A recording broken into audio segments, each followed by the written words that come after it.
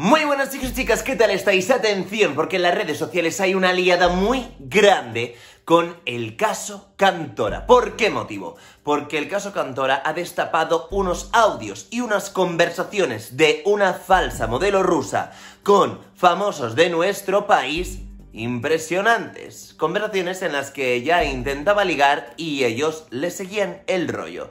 Atención, porque una de esas personas que se ha visto afectadas ha sido Miguel Ángel Silvestre. Él mismo lo ha revelado en sus redes sociales, de verdad que de una manera muy graciosa. Esta mañana todo el mundo teníamos en nuestro móvil, si vais a Twitter lo podréis ver, un audio de él, pues en el que básicamente estaba flirteando con esta falsa modelo rusa. Al principio la gente decía, esto yo no sé si es una noticia falsa, si es un tuit falso, si es un montaje, qué está pasando, pero es verdad que el propio actor ha confirmado que sí, porque se la han jugado. Y de verdad que yo lo agradezco que, bueno, pues que actúe de una manera tan natural, que sea también tan divertida su respuesta, ¿no? Porque al final mira lo que ha dicho. Para una vez que ligo con una modelo rusa y resulta ser que es una cuenta falsa. De verdad que mm, se la ha tomado con muchísimo sentido del humor y eso es de alabar porque a todos nos podría haber pasado. Porque ¿cómo actuaba esta persona? Pues bien, se creó una cuenta falsa utilizando fotos reales de una modelo que sí que existía, que era rusa, esta es la cuenta real y esta es la cuenta falsa,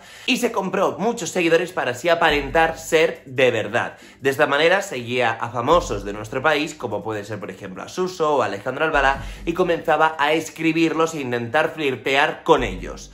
Estas conversaciones han salido publicadas y filtradas en las redes sociales y ahora mismo se está investigando sobre todo este asunto. A primera hora de la mañana se había apuntado a una persona, pero esta persona niega al completo ser eh, el que está detrás de esta cuenta falsa, así que yo no voy a desvelar su nombre hasta que al menos, digamos, logremos saber y tengamos una fuente real que nos diga quién es eh, la persona que se encuentra detrás de, esta falsificación, de esta falsificación de la que digamos que, que, se ha estado aprovechando durante los últimos años, porque a través de esta cuenta falsa durante los últimos años ha estado intentando contactar con famosos, con empresas, etcétera. Vamos, una auténtica bomba. Chicos y chicas, dadle al like si os gusta este vídeo y suscribiros, que estéis invitados.